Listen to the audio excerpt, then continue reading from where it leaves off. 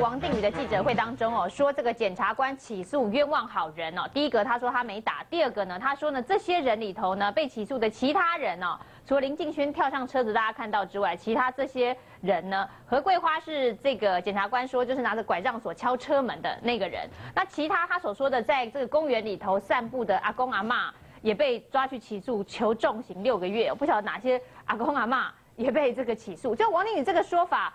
台南地检署要不要出来回应一下？就是把人家公园散步的阿公阿妈都起诉进去。当然不用了哈，我我顶物啊顶物啊那种熊敲鬼，会使得分的不得分，那去看公我别讲哎，你你你那个王定宇就不用介绍了哈，那个林林进勋就跳车子的嘛，那何况是那个我们中间都有画面画面哈，后面那几个哈，我的研判哈，依照以前办那种案子案例哈，他会定格。虽然邱委员刚刚提说当庭会看验影带哈，可是你要复卷的话，录影带当然要复卷了哈，但他会把照片定格拍下来，拍下来。你看他要出孔庙那个门时候，有人 K 他的头，那那个那个手哈已经查出来，就在那五个里面，一一啊，你那个车子要开的时候哈，你在那边推有吗？除了林金玉，还有一个人在那边推，那个那个也有事，就趴在车子引擎盖前面。哎哎，除了林元，你黑嘛黑龙五代几，有挡去，所以王弟你不要胡乱，去公园散步不会被起诉啦，不然大安森林公园不是全部都被起诉了？乱讲，你有动手有动手动脚的才会，你用呛瞎的用骂的哈，用哎滚回去什么那个都没事啊。就要北财，我刚刚绝对不是散步就被起诉。我王定宇的坏习惯改不了哈，我很怒了哈。第二个，他说检察官第二次开庭的时候变更法条，谁跟你规定不能变更法条的？你的律师在你旁边呐，你请那律师干什么？为什么不能变更法条？变更法条告诉你是对你客气啊，我可以不要告诉你，我就用别的法条起诉你，你也难。跟你讲变更法条是让你有防御权，说哎，我现在用这一条起诉你哦，你知不知道你犯的行为其实是这一条？他说没有摊证据给他看。哦，这个这个就是我要讲第三点，谁跟你规定要摊证据给你看？你你请到队伍你招。对嘛？可以。你有没有在跑地检署啊？还还证据摊给你看呢？神经病啊！法院要，法院才能才才可以让你看他的阅卷嘛。你在还没起诉，你要看验伤单，你凭什么看验伤单啊？张明清的验伤单，你凭什么要看？你误导民众还不得了，还那边开记者会哦别讲。我如果是王定宇的律师，我一定当场解除委任，说啊，你公司行贿里电话不来照，你不要乱讲嘛。你明明你明明是被快速的起诉，王定宇讲的我同意，为什么你证物都还没调来，你就要开庭？你告诉我十月二十一号，你急着开庭，那开什么？检察官是不是奉命开庭？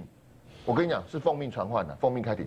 一般的案件没有当天抓人的，除非是刚邱委员讲的警察哈，现行犯把他抓起来，好吧？你讲现行犯抓起来，易勇大哥也提到说，哎，现行犯抓起来，抓起来我就立刻开庭了。没有嘛？啊，没有，你干嘛当天就开庭？这个是我从来没看过。我刚也特别拿邱委员当对照组，连邱委员那个两千零四年三二零三二一都没有被抓去开庭。对，都没有被传递开庭，可是王定宇那个太离谱了。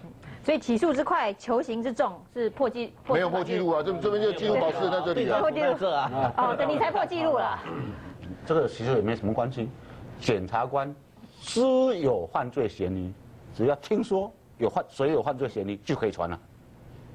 实施法是这样规定的，我不仅要掌握证据再传，我只有犯罪嫌疑。平秀云可能去昨天晚上去偷偷东西。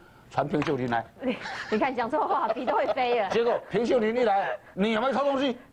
承认了，有，抓起来，那不抓就好了，对不对？说没有就把你放走啊？没有，我再去找证据也可以啊。所以这传不传，什么时候传，都是他决定。这是法律教室。侦查就是这样子啊，侦查。那我掌握什么东西，我要告诉你吗？不需要。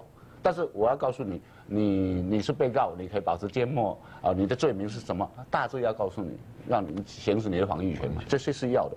但王定宇讲这个话哈，真的是误导群群众。台湾是个民主社会，但是你采取的不是民主的方式。你民主的枪声，民主的抗议，我不相信。不要说台南地检署了，全国特政组也办不了你。对吧特政当然办办高官了，这谁都没有办法主事来办王定宇。你只要不犯罪，到哪里走都可以。民进党那些立委没有犯罪的，你想进监狱还进不去，想进看守所还进不去。所以叶宜津不要多虑啊。当然，你如果偷跑进看守所哈，我不晓得用什么罪办他了，因为偷跑出来。会会偷逃嘛？但是跑进去住在看守所，潜入啊，潜入 私入私闯民宅，到底是呃那个不是民宅啊，那不是民宅，要用什么用什么罪来办他？这一条我就不知道啊，这一条我有回去查一下好了。哎，不知道。但是王定宇，你不要腐烂了嘛，真的号召台湾士兵起来，怎么会公园散步的变成台湾士兵了呢？那些不是公园散步，那些是士兵赶去的了。我们先接一下口音啊，再回来继续谈这个王。